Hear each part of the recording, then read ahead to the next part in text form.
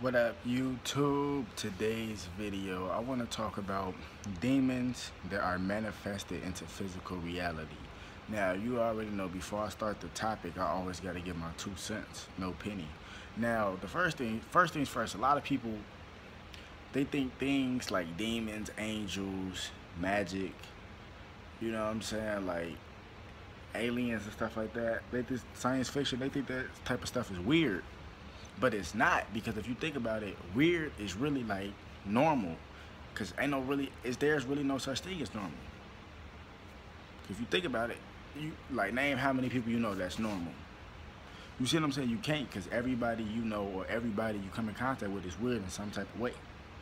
You see what I'm saying? And my definition of weird is different. You know what I'm saying? Somebody that's unlike somebody else. Just different. You know what I'm saying? Unique. So ain't no such thing as normal. So I'm just letting that, I'm just clarifying that. So when I talk about this type of stuff, I don't want people to think like, oh, you know what I'm saying? This stuff exists. Because think about it. People want to say, God this, God that.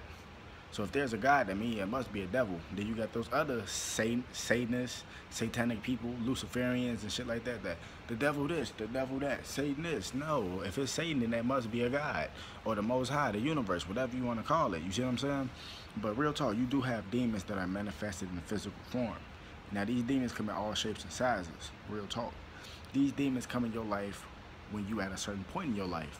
You know what I'm saying? A certain point of success, a certain crossroads or just at a certain milestone. You see what I'm saying? So if you're going through a certain thing, a demon will manifest in a physical form to either egg on that situation or to hold you back for, from a situation. So for example, if you on the right path, you're doing good, trying to get yourself together, demons will manifest in a physical form, i.e. come in your life, come in your reality as a quote unquote friend to disrupt you from uh, accomplishing that goal. So those demons gonna keep you angry, keep you, you know, same shit, mad, keep you jealous, envious, hateful, all this type of stuff. Because that's that demon's goal. Because the demon know that your milestone is to better yourself. Them demons don't like that. You see what I'm saying? Now, if you one of those type of people who uh, already doing wrong and you continuously doing wrong, demons will manifest in that form to keep you down that path. So you know how you got some people that just can't break out of that anger spell, some people that just can't break out of that sex spell, some people that just can't break out of that drug spell, you know, etc., etc., etc. Those demons that's on them or around them, keeping them in that cycle, in that circle, so they can't break out. That's what I mean, demons that's manifesting into the physical form. This stuff is real, real talk. Just look around you, the people that's around you.